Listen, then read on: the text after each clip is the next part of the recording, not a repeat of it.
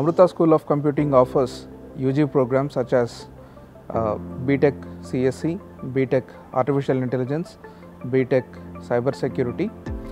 to directly make the students fit into the current requirement from the industry, especially into the